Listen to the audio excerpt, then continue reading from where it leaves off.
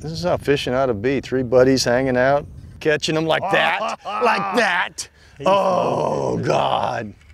Be another good one. Oh, Oh, hmm. man, oh, my goodness. Oh, sorry, Wade. right there. well, that's a good one, Jim. I talk the smack and I back it up. But you delivered that time.